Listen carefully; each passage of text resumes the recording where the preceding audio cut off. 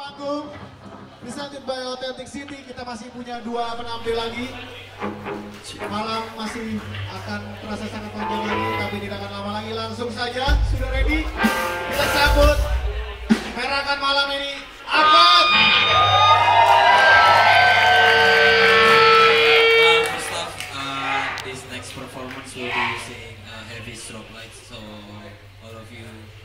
kalau misalnya punya epilepsi atau photosensitive,